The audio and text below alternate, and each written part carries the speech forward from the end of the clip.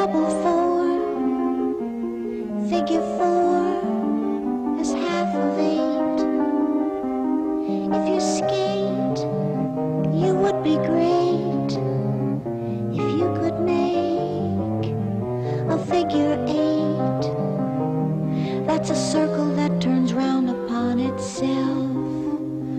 One times eight is two times four. Four times four is two times eight. If you skate upon thin ice, you'd be wise if you thought twice before you made another single move. One times eight is eight. Two times eight is sixteen. Three times eight is twenty-four.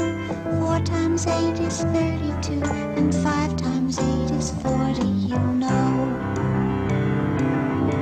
Six times eight is forty-eight. Seven times eight is fifty-six. Eight times eight is sixty-four. Nine times eight is seventy-two. And ten times eight is eighty, that's true.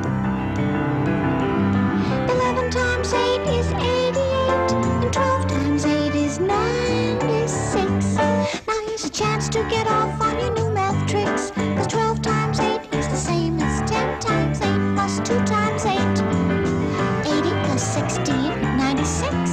1 times 8 is 8. 2 times 8 is 16. 3 times 8 is 24. 4 times 8 is 32. And 5 times 8 is 40, you know.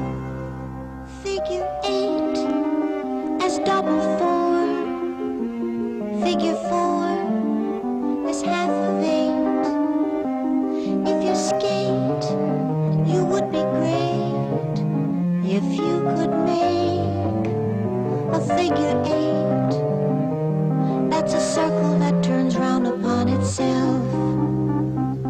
Place it on its side and it's a symbol.